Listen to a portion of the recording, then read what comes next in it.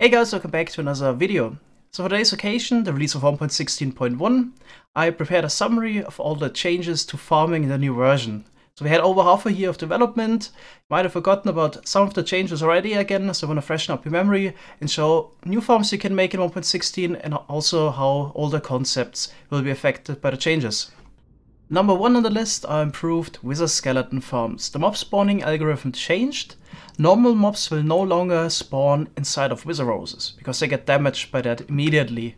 But wither skeletons are still able to spawn inside of the wither roses, so you can make a super efficient wither skeleton farm now, since that's the only mob you need to handle. Number two, magma cube farms. You can find magma cube spawners in the new bastions and by preparing the area around those, you can make a little farm. The most efficient magma cube farm can certainly be made in the basalt delta biome, since magma cubes have the highest chance of spawning there. There's also a small chance for ghast to spawn, but you can also prevent it by restricting the height for the spawning spaces. So in case you need millions of those magma blocks for some reason, that's probably the way to go. It's a lot of effort. And number three are basalt and polished basalt farms. Those blocks are only decorative building blocks. But the way to get them is to have lava or flowing lava on top of a soul soil block and blue ice adjacent to that. This would convert the lava into basalt. And obviously you can make yeah, all kinds of farms for that. Here with a super simple one. You could stand with a pickaxe and just mine it. Or you make a yeah, more efficient farm where you use TNT to blow up the blocks. And number 4 on the list, probably the biggest change to farming 1.16 are piglin bartering farms. So you can convert gold ingots into one of those items randomly. There's a certain chance to it. You can check the wiki for that. Uh, you can do that every 6 seconds with a single piglin. So one of the easiest farms is probably just have a dispenser that would throw out gold ingot every 6 seconds Piglin would convert it into one of those random items, stands on a hopper, and this is collected by a chest. So a pretty easy setup for that. Here's also a list of the items you can get now with the, yeah, gold conversion. So you can get the new Soul Speed enchantment, or even Soul Speed on Iron Boots. You can also get Iron Nuggets, so technically you can make a yeah, gold-based Piglin bartering iron farm, but compared to the standard iron forms, um, it's not really significant. Then you can also get fire resistance potions. Quartz is now renewable uh, because of this uh, bartering mechanic. Previously, you could only get quartz blocks from trading. So in case I need a lot of observers comparators, this is definitely the way to go. Then glowstone dust, which you could previously get from uh, yeah, witch farms, can also be obtained from bartering now.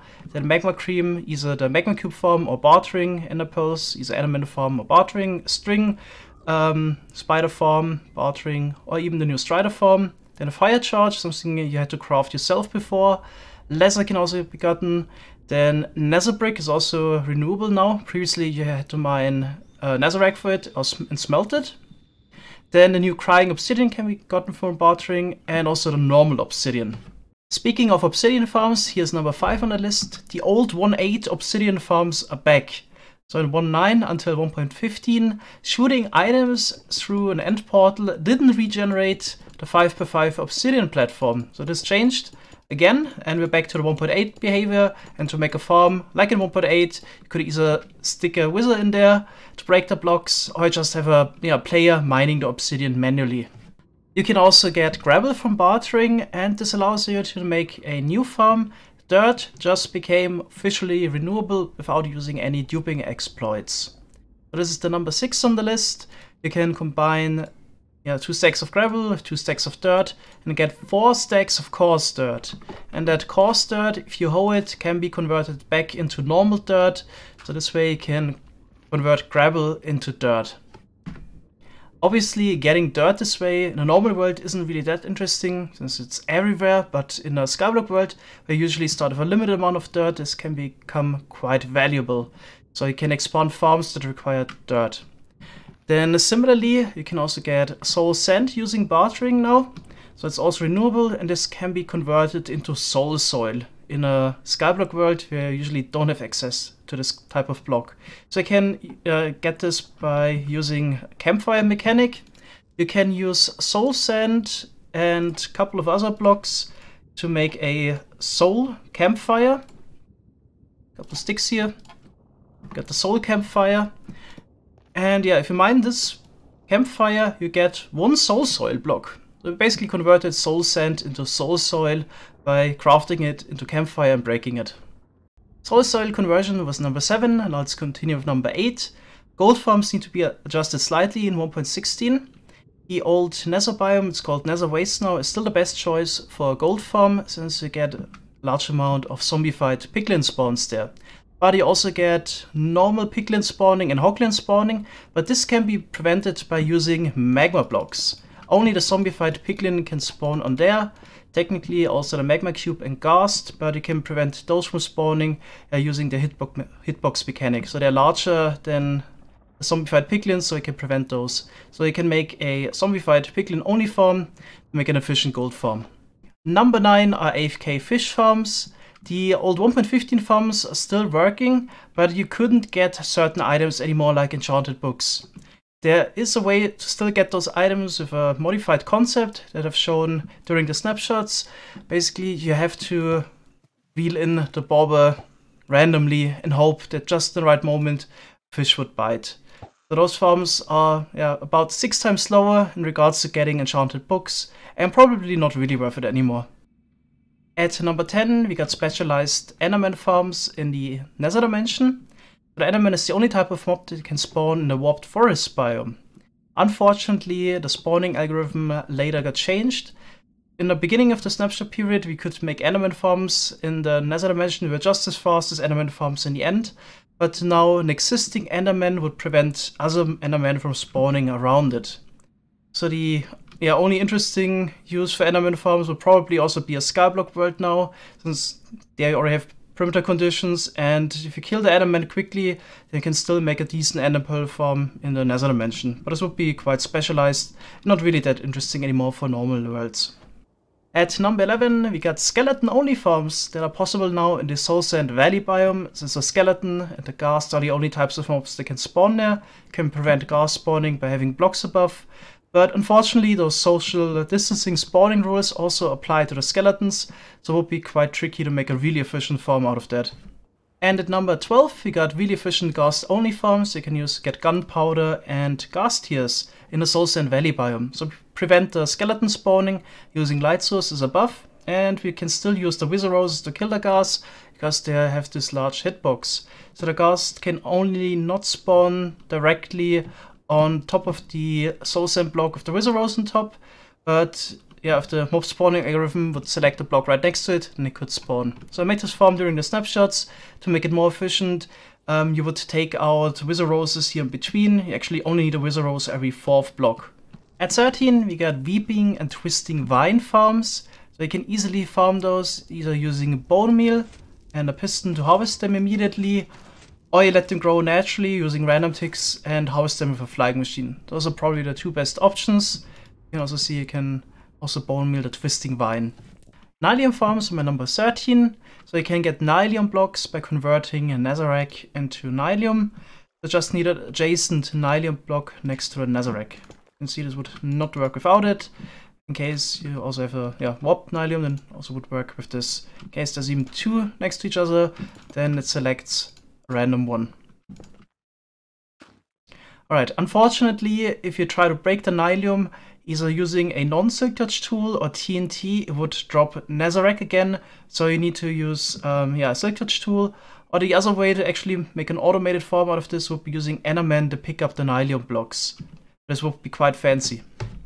And next we have root, sprout and fungus farms. If you bone meal Nylium, on the 5x5 blocks around it, it would generate those types of items and technically even some vines in a larger area, but to a much smaller extent. They can use a shifting floor design to harvest those items and collect them either with a water stream or hopper minecarts below. One downside is the nether sprouts that you can also get by bone mealing the warped nylium uh, no longer will drop in item form if you shift the blocks over. The only way to get those in survival mode is using shears. At number 16 we have the fungus tree farm. So you can bone meal fungus on top of the nylium to get a new fungus tree. And here you can either just harvest the stem blocks or also try to get the nether wart blocks or the new shroomlight blocks. Technically, you also get some vine blocks, but it's better to bone meal those directly in case you want those. Then there's also all kinds of concepts to either just harvest the stem blocks or also the adjacent blocks. If you focus on the nether wart blocks, uh, you could even make a fully automatic bone meal farm. And that's our number 17. So if you harvest all of those nether wart blocks and compost them, you get a decent amount of bone meal. And you could reinvest this in bone mealing the nylium block and then also bone mealing one of the resulting fungus and yeah, grow a new tree, harvest it again, and so on and so on. And you can make a little bone meal profit of this and also get the other blocks this way. The fungus stem block is also the base ingredient to make a lot of other blocks, for example, the stripped variant, planks, or fireproof fence gates. In order to convert those you're AFK into the stripped version, you could just, for example, put the blocks in your offhand, have an axe in your main hand, and then hold down right and Wait, actually I have to go into survival real quick so it would work. So don't break it immediately. Hold down right and left. This way we can convert them while AFK. That is our, our number 18. Pork chops are one of the best food sources in the game and the new Hoglin mob that spawns in the Crimson Forest biome can easily be farmed to get both pork chops and also leather. So here we have an early game farm, the Hoglins that spawn here exclusively because the light level would prevent zombified piglin and piglin spawning, would run away from the warped mushroom, and yeah, would drop down to their death um, here at the bottom. So this is an easy way to make a really efficient pork chop farm. Said you can probably build this two hours after starting a new world. Check here at the bottom. Yeah, lots of pork chop and leather. Alright, number 20. There's also a new string farm in the game. So apart from getting string from bartering or killing cats or spiders, you can also kill striders to get string. But a strider-based string farm would definitely fall in the category of farms you can make, but there's probably not much reason to actually do so, because it would be super tedious compared to the other alternatives. So you basically would need to yeah, prepare a perimeter to make sure that only striders can spawn inside of your string farm, uh, so they can spawn in lava um, at layers below Y32. Um, so be rather tedious. Also, they don't spawn very frequently. They're part of the animal mob cap and spawn only every 400 ticks. So it's definitely possible to make a string farm this way, but the alternative, a spider farm, is definitely a lot more efficient. Next, we get simple witch farms using the new zombified hoglins, also called zoglins. So in case you get some of those into a witch farm spawning area, you can yeah, easily get the witch drops this way. The witches have no way of fighting back. They do try to throw their harming potions, but because the Zoglin is actually an undead mob, they would get healed by that. So I'm definitely sure the Zoglin-based witch farm won't be as efficient because at the same time they would also take away spawning spaces, but it's an easy alternative to any redstone based farm. Growing kelp using bone meal is our number 22. They can make really efficient kelp farms this way. And at 23, we got even simpler iron farms. So previously it was necessary that a villager had a workstation to spawn an iron golem. This is no longer required. So if you already have an iron farm, could just leave it as it is, it would still work. But yeah, can make a newer design without any workstations. There's also a smaller change to farmer villagers they can now compost their additional seeds to get bone meal and use that bone meal to grow their crops a little bit quicker. In practice, that really won't make a difference, but yeah, it's a nice little detail. And finally, number 25, easy blaze spawner farms. You can use lava now to move mobs. So you could use that to move the blazes into a containment area. It's very slow, but yeah, speed was never really that interesting for a blaze farm. Alright, that was my list of 25 new farms you can make in a 1.16 update. There's definitely a lot of content for technical Minecraft, and I'm really looking forward to updating. Thanks a lot for watching, and see you next time. Bye bye!